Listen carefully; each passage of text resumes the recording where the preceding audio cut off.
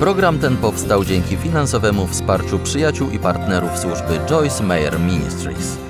Chcę, żebyś wiedział, że jeśli przyjmiesz to, co dziś powiem, wrócisz do domu i powiesz: Dobrze, Boże, chcę tego, to ostatecznie ci się to opłaci.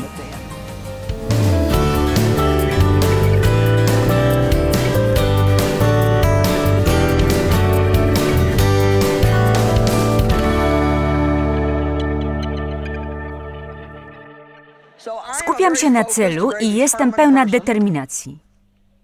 Potrzebuję jej, żeby robić to wszystko. Ale to nieustanne wyzwanie, bo wciąż mi coś przeszkadza. Ale chcę spokojnie myśleć. Kiedy mam jakiś plan lub cel i ktoś lub coś mi przeszkadza albo odciąga mnie od jego realizacji, to muszę się naprawdę starać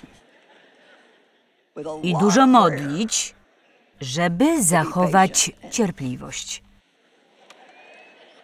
Opowiem coś zabawnego. Byłam w drodze do kościoła, gdzie miałam służyć. A gdybym miała wskazać jedną rzecz, której u siebie nie znoszę, to byłoby to spóźnianie się. Kiedy służba się zaczyna, to ja chcę być tam, doglądać wszystkiego, bo jestem za to odpowiedzialna. Wolę się upewnić, że wszystko jest jak trzeba. Mamy wielu dobrych pracowników, ale i tak chcę być wcześniej. Powinieneś mnie zobaczyć, jak stoję w korku. Wtedy to jest. Potrafię nad sobą zapanować, ale to jest prawdziwe wyzwanie. Wiesz, o czym mówię? Są pewne rzeczy, które sprawiają ci większą trudność niż innym. Chcemy je zaatakować z Bogiem, bo robimy postępy krok po kroku, prawda? Ja teraz całkiem cierpliwie czekam na Boga. Nie zmuszam go do pośpiechu. Nie mam z tym problemu. Jeśli dostanę od niego to, czego chcę w ciągu tygodnia, to dobrze. A jeśli w ciągu 25 lat, to też dobrze, bo nie zmusisz Boga do pośpiechu, dlatego dałam sobie z tym spokój. Mimo to wciąż czasami kontroluję pracowników. A więc jesteśmy w drodze na tę służbę w kościele. Musimy przejechać przez tory kolejowe. Ramię semaforo jest upuszczone, błyskają światła, ale nie ma pociągu, nie ma pociągu. Korek rośnie i rośnie. Ludzie zaczynają zakręcać, jadą z powrotem, zawracają. Oczywiście, że coś było nie tak. To przejazd był zablokowany, a pociąg nie jechał. Więc my też zawróciliśmy, musieliśmy poszukać objazdu i pomyślałam, no to się spóźnię.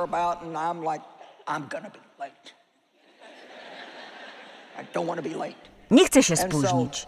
A Dave jest bardzo uprzejmym kierowcą i zwykle przepuszcza wiele osób.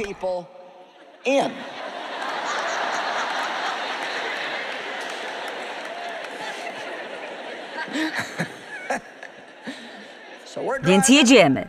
Ja już chcę tam dojechać i widzę, jak jakiś samochód wytacza się z bocznej uliczki i Dave zwalnia. Mówię do niego, Dave, to nie czas na bycie miłym.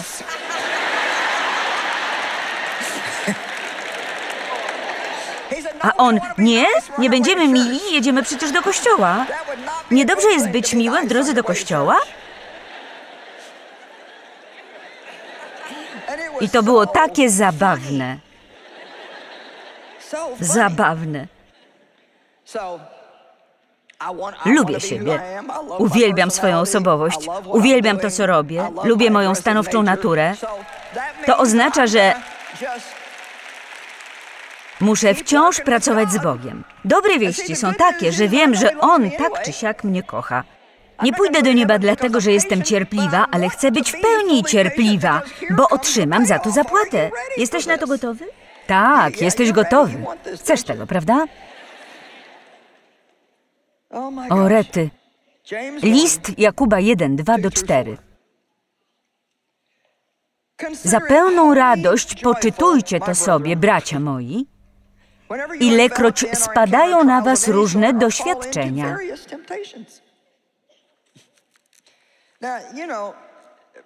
To wspaniały werset, ale nikt się z tego nie cieszy. Zauważyłeś, jak wszyscy ucichli, kiedy zaczęłam to czytać? Nikt się nie cieszył, nikt nie klaskał. Za pełną radość. Poczytujcie to sobie, bracie moi, ilekroć spadają na was różne doświadczenia, próby i pokusy. Nie możesz czuć radości z powodu prób, ale możesz przez wiarę dostrzec, jak dużo taka postawa zrobi dla twojej sfery duchowej.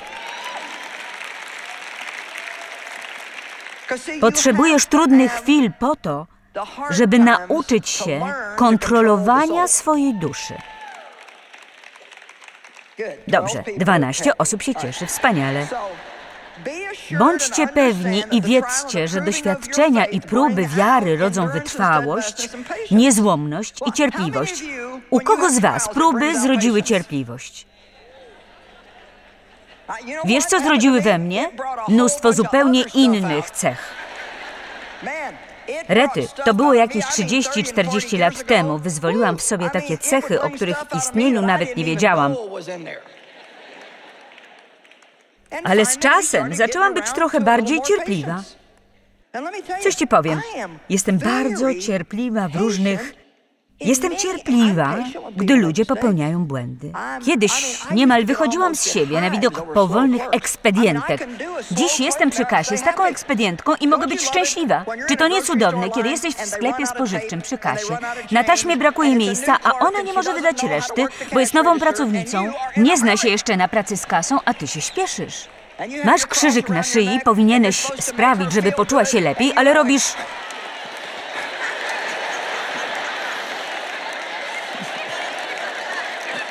Takie dajemy świadectwo. A więc trafiam na wolną ekspedientkę. Bóg mi je zsyła.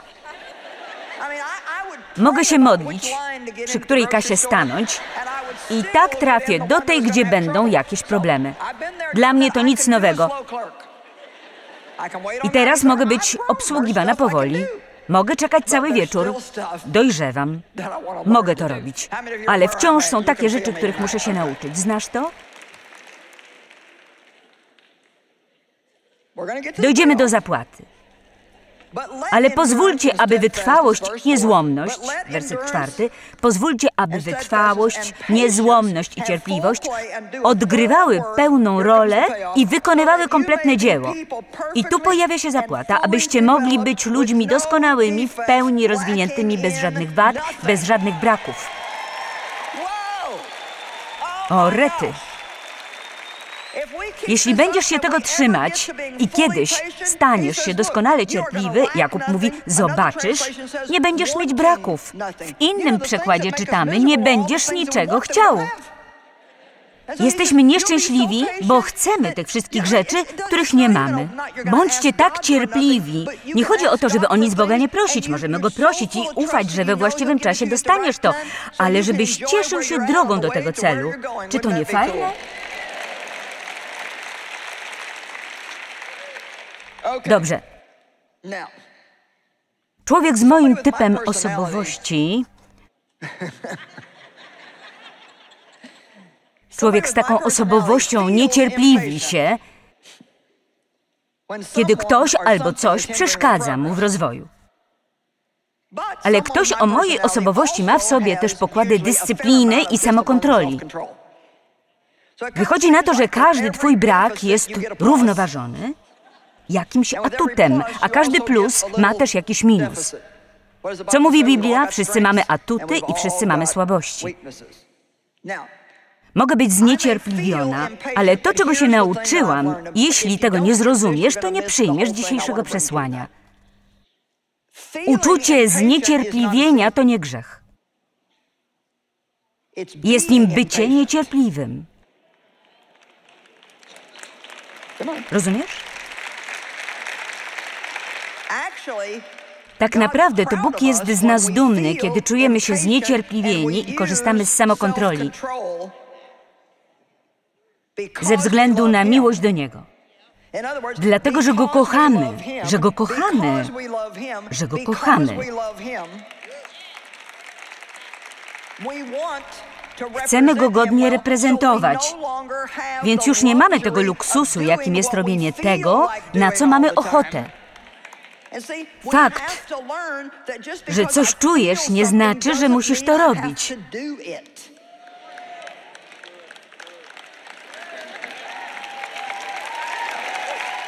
Jeśli przyjechałeś tu na cały weekend, to mamy trzy spotkania. I tak przygotowałam na tę okazję książkę pod tytułem Wznieś się ponad emocje. Musisz się nauczyć, jak panować nad emocjami, zamiast pozwalać, by one panowały nad tobą. Dobrze jest wiedzieć, że chociaż czujesz gniew, to samo odczuwanie gniewu nie jest grzechem. To trwanie w gniewie, działanie w gniewie jest grzechem. Biblia mówi, kiedy się gniewacie, nie kiedy poczujecie gniew, niech nad waszym gniewem nie zachodzi słońce. Innymi słowy, kiedy czujesz gniew, pracuj nad nim razem z Bogiem, tak, żebyś mógł iść do łóżka w pokoju.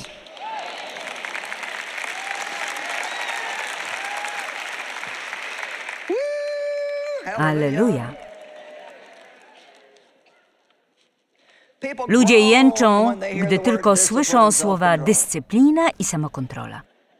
Dziś będę nauczać o dyscyplinie. Dyscyplina nie jest Twoim wrogiem. Dyscyplina jest Twoim przyjacielem, bo została Ci dana przez Boga, żebyś mógł stać się tym, kim chcesz być, mówić to, co chcesz mówić i mieć to, co chcesz mieć. I tak się nie stanie, dopóki nie panujesz nad sobą. Piąty rozdział listu do Galacjan wymienia owoce ducha. Owocem zaś ducha jest miłość, radość, pokój, cierpliwość uprzejmość, dobroć, wierność, łagodność, opanowanie. Wiesz co myślę? Opanowanie jest na końcu, bo trzyma całą resztę w ryzach. Jak mogę żyć w miłości, jeśli nad sobą nie panuję? Wtedy są takie dni, gdy nie mam ochoty nikogo kochać. I nie będę miła dla ludzi, którzy są bardzo kochający. Albo jak mogę być zawsze uprzejma? Jak mogę zawsze być pokorna? Dzięki samokontroli, samokontroli, samokontroli. Nie mów, nie panuję nad sobą. Gdy zjem jedno ciastko, muszę zjeść całe opakowanie. Jeśli się nad tym zastanowić, to trochę głupie. Narodziłeś się na nowo, jesteś pełen Ducha Świętego, masz władzę nad diabłem, a nie masz nad ciastkiem? Jak zjem z jednego chipsa, to muszę zjeść całą paczkę.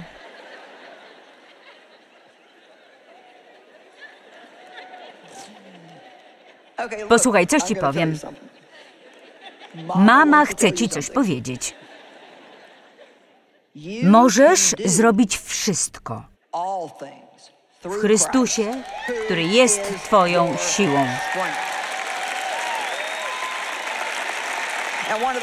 Jedną z pierwszych czynności, które musisz zrobić, to przestać mówić to za trudne. Nie mogę, to za trudne. Dziś mamy tu niezły ubaw, a przynajmniej ja mam.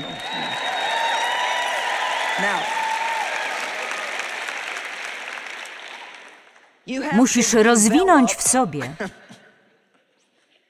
owoc ducha. Rozwiniesz swoje zdolności, a dzieje się tak przez ćwiczenia. To dlatego, gdy modlisz się o cierpliwość, Bóg da ci powód do wykazywania się cierpliwością, bo nigdy nie rozumiesz w sobie cierpliwości, jeśli nie będziesz musiał jej okazywać. Zrozumiałeś, czy mam to powtórzyć? Dobrze, powtórzę. Gdy modlę się o cierpliwość, spotka mnie okazja do wykazywania się tą cierpliwością. Jeśli modlisz się o to, żeby kochać wszystkich ludzi, to będziesz miał do czynienia z nieznośnymi ludźmi. Wypowiadamy słowa tych uduchowionych modlitw, czujemy się tacy święci. O Panie, chcę pełnić Twoją wolę, wieść życie pełne poświęceń. I rozumiesz, wszystko poddaję Tobie. Chcę być cierpliwy i kochać wszystkich. To w niedzielę, a w poniedziałek rano co się dzieje z moim życiem? Chodzenie do kościoła nic mi nie daje. Tak, dostajesz dokładnie to, o co się modliłeś. Twoja modlitwa nie zostanie spełniona, dopóki nie zaczniesz posługiwać się cząstką tego, co już masz. Wiesz, że masz mięśnie? Niektórzy z Was nie potrafią ich znaleźć, ale je macie. Może słyszeliście tę zabawną historię. 12 lat temu zaczęłam ćwiczyć pod okiem trenera i Dave powiedział: Nie zrobisz tego, zawsze kończy się tylko na słowach. Właśnie tego potrzebowałam. To było najlepsze, co mógł mi powiedzieć, bo miałam postawę: Nie mów mi, że nie dam rady. A więc zaczęłam.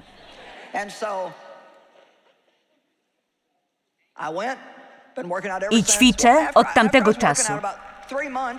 Po jakichś trzech miesiącach, któregoś dnia siedziałam w łodzi, ktoś zabrał nas na rejs łódką. Podniosłam nogę i podrapałam się po łydce i wyczułam jakieś zgrubienie. Pomyślałam, o rety, może to nowotwór? Myślałam, że mam nowotwór. To było niewielkie zgrubienie i pomyślałam, o rety, czułam je tutaj i miałam tak samo na drugiej nodze. To były mięśnie. Wcześniej ich nie czułam. Nie mam racji? To prawda. Nie anegdotka, tylko prawda. Powinieneś zobaczyć, co mam teraz, rety. Niesamowite. Coś ci powiem. Kiedy zaczęłam ćwiczyć, zaczęły się rozwijać. Moje mięśnie, miałam je, ale nikt ich nie widział. I ty też masz cierpliwość, ale nikt jej nie widzi. Rozumiesz? Masz ją, po prostu nie przejawia się wszędzie, bo wciąż jest słabiutka i miękka. Nie dam rady. To za trudne. Mówię ci prawdę. Kiedy zaczęłam ćwiczyć, Nie ociągałam się. miałam trenera I on przez dwa lata chodziłam obolała. Przez dwa lata bolały mnie różne części ciała. Ale ból stał się moim przyjacielem. bo moje ciało się zmieniało. Potem nawet mi brakowało. Myślałam sobie, chyba nic już z tego nie będzie. Kiedy zaczynałam, to było zabawne. Myślałam, że będę ćwiczyć w domu. Skorzystam z tego programu ćwiczeń. Mają taki, że możesz chodzić na siłownię, gdzie uczą cię przez tydzień, a potem wracasz do domu i ćwiczysz przez trzy tygodnie. Więc kupiliśmy trochę sprzętów i zaczęliśmy ćwiczyć w domu. Przygotowali dla nas dwa treningi i mieliśmy je stosować na zmianę. Mówię my, bo Dave postanowił ćwiczyć razem ze mną, choć robił to od 55 lat. Więc mieliśmy wykonywać ćwiczenia na zmianę, ale nie wyrazili się jasno, więc robiłam wszystko naraz. Nigdy wcześniej nie trenowałam. Robiłam to wszystko codziennie. Potem spadałam na muszlę klozetową i modliłam się, żeby wstać. Było naprawdę źle. Źle. Było okropnie. Te ćwiczenia zabierały mi półtorej godziny. Podeszłam do trenera i powiedziałam, czy to nie może trwać krócej, a on na to, ćwiczenia powinny zajmować ci 45 minut. Odpowiedziałam, ale zajmują mi półtorej godziny. Zapytał, to co ty robisz? Ja na to, no to wszystko. A on, robisz wszystkie ćwiczenia? Nieważne, dość tego. Drugi list Piotra, rozdział pierwszy. No nie wiem, chyba zrobiło się zbyt wesoło. Ale to naprawdę dobrze.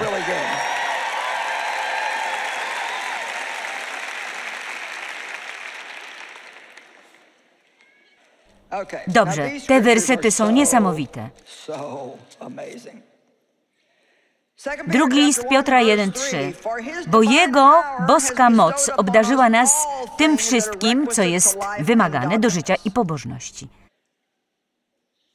Więc Bóg przez swoją łaskę i miłosierdzie obdarzył nas wszystkim, czego potrzebujemy, żeby wieść wspaniałe życie. Werset czwarty.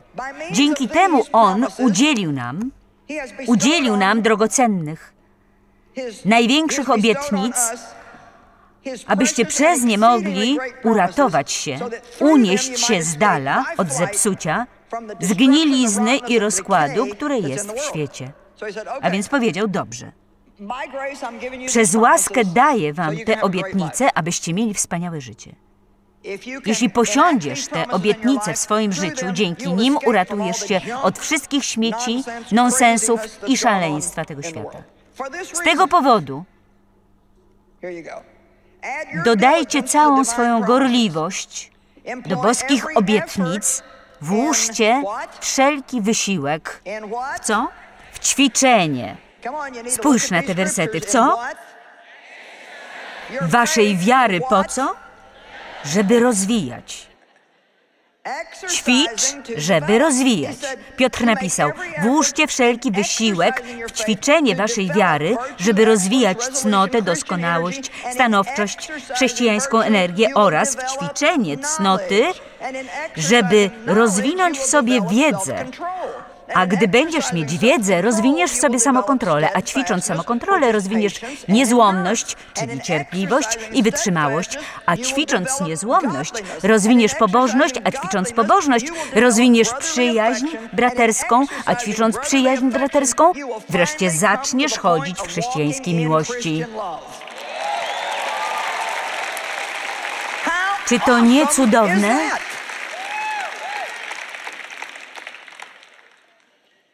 Wróćmy do początków. Jesteś duchem. Każda dobra rzecz, której potrzebujesz, jest w Twoim duchu, ale pojawia się jako nasiono. Biblia w pierwszym liście Jana mówi, że zostało w nas zasadzone boskie nasiono.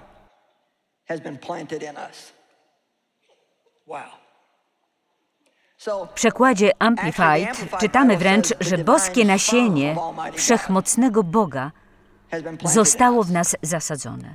Więc nie przesadzę, jeśli powiem, że kiedy rodzimy się na nowo, zostajemy zapłodnieni boskością.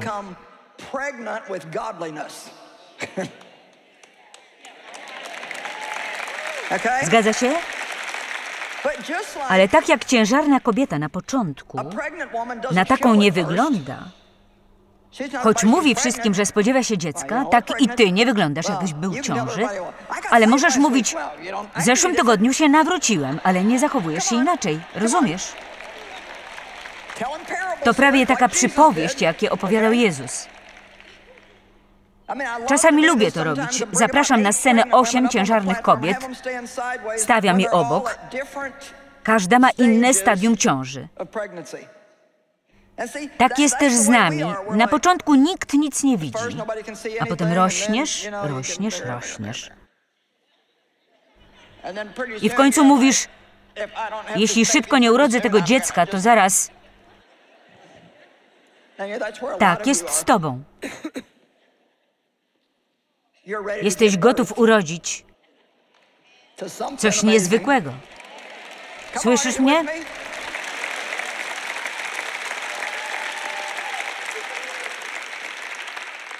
Akuszerką jest Duch Święty. A wiesz, co mówi akuszerka? Przyj! Oddychaj! Przyj!